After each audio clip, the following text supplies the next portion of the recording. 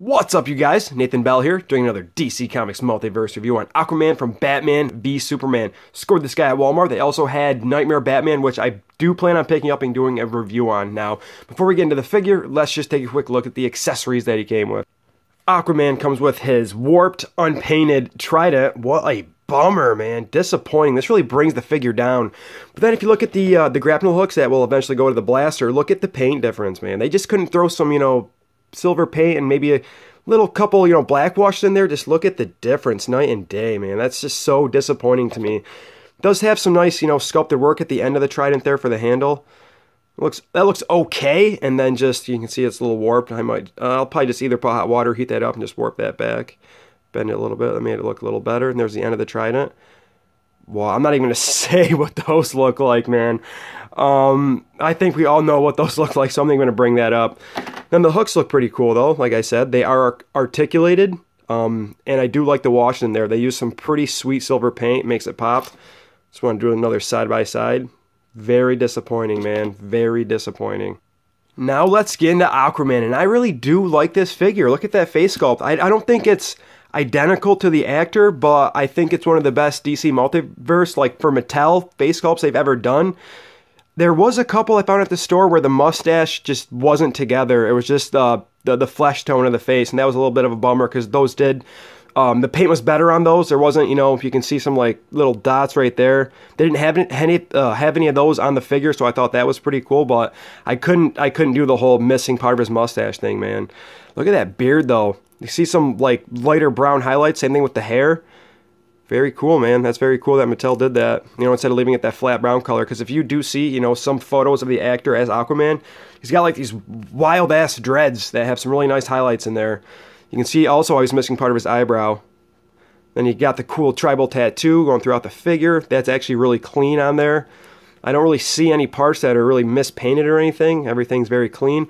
I like I really like the metallic olive color for his pants, and that tribal pattern conti uh, continues right in his pants. Very cool. You got the Aquaman symbol on the belt, which I don't think has any paint on there. I'm trying to get a little closer, but I'm not. It might have some black in there because you can see some sculpted lines, but I'm really not seeing any paint.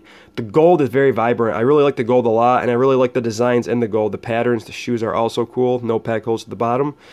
There's a look at the back. That tribal continues on his butt right there, on his thighs. There's his pouch looking very nice with all that detailed work. This dude's just detailed out with the, you know, the gold plates on him. And then right in here, you can see how it's got like the straps in there kind of. Let me see if I can fix my lighting. You can see the straps in there, and I don't know if that uh, is, uh, you can see the black. I don't know if that's tattoos or they just wanted to fill that all in with black for the, for the, you know, the ropes in there to tighten his gauntlets. I'm not entirely sure. But the other side, you can see how that's filled in. So those might be tattoos. I'm not entirely sure, but if you do know, please tell me in the comments below.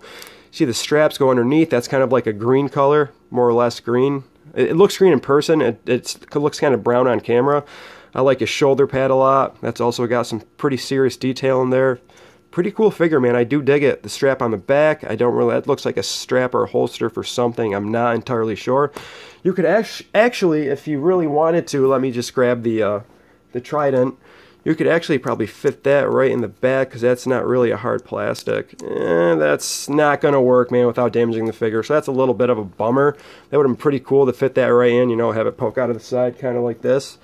If I can just get them like that. That looks pretty cool, man. I like that. But uh, yeah, man, thumbs up for this figure. I actually do like it. Mattel did actually a very nice job. I mean, besides the articulation, which I will get into, uh, the sculpt work is actually very nice. Let's get into some quick articulation with this guy. So his head cannot look up and it cannot look down either and it can barely move side to side. His arm can go up about that far. It can move forward.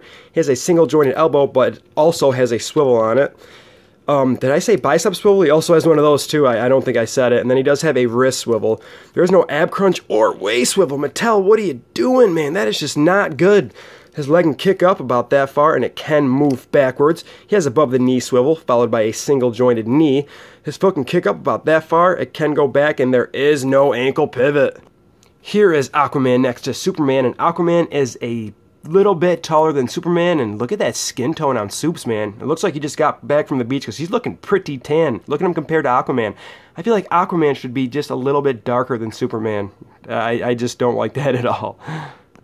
And here he is next to Armored Batman, and Armored Batman is taller than Aquaman. And I gotta say, I think this Aquaman is my favorite figure from the wave. I know the articulation is kind of junk, but I do like the sculpt and the paint apps on it.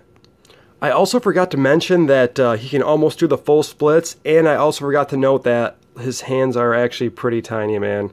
Uh, I don't really like that at all. Look at that hand. That just looks really small to me, right? That looks like a like uh, Deadpool's hand, you know, when when he when he gets it chopped off. That just looks ridiculous. Well, he chops it off himself, but uh, look at that, man. Looks like he's trying to like uh, hitchhike or something, man.